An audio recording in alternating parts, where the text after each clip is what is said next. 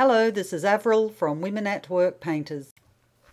Often people ask us to help them prepare a house for sale. Some houses are fairly tired and need a full paint. You know, they may have watermarks and a lot of blemishes on, on the surfaces, so we will have to start from scratch.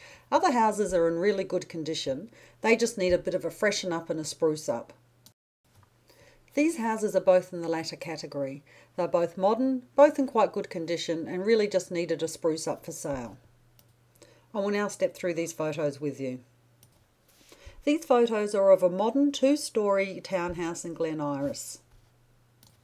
It is a beautiful home, and as such, we only needed to give it a spruce up for sale. We painted the ceilings, walls, and woodwork. These photos are of a modern but older style unit in Melbourne. When I went to quote for this house, it was actually all painted in grey. The walls were grey and the woodwork was grey, and it really just looked a bit dated and tired. Our client was trying to transform her home with minimal cost. Fortunately, the ceilings were white, so we only had to paint the walls and the woodwork. I recommended a colour for her, and we went with that, and as you can see, the result is simply stunning.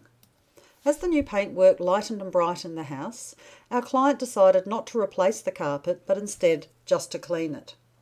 This saved her a lot of money and naturally she was thrilled. The property sold very quickly and prior to auction, making our client very happy.